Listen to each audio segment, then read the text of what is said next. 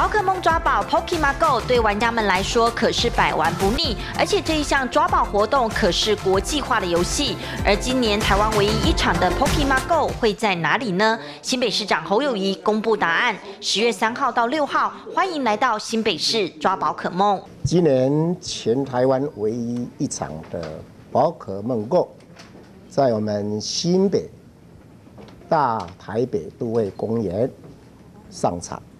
我们的时间在十月三号到六号，同时我们有新北市六十个处所，在我们的风景地区、商圈、老街以及文化传统的这些地点，都可以抓到我们宝可梦的宝物。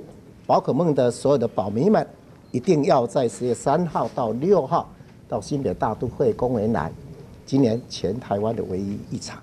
公务繁忙的侯友谊市长没有时间抓宝，但他宣布为期三天的 Pokemon Go，新北市有超过六十处的选定景点，欢迎训练家来抓宝，而且还有限定版本的宝可梦。相信大家抓宝就跟他年轻时候担任刑警一样，抓通缉犯的抓越大尾成就越大。有趣的比喻引起在场众人哈哈笑。我一生当中最喜欢在第一线去追逐猎物，当刑警就追逐。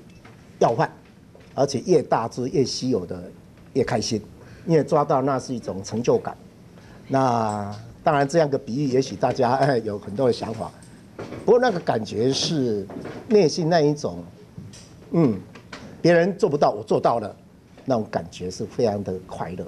那宝可梦一样的道理，别人抓不到的稀有的宝物，我抓到了，我拥有了，你没有，我就比你哎。厉害多嘛哈！不分世代、不分国家，Pokemon Go 的抓宝时代，新北市为了配合玩家光临，选定景点，邀请大家享受游戏的乐趣，同时也能了解新北市更多。另外呢，还有相关的优惠，鼓励玩家一定要趁这一波来新北市抓更多的限定版宝可梦。记者林丽如、吴志恒，新北报道。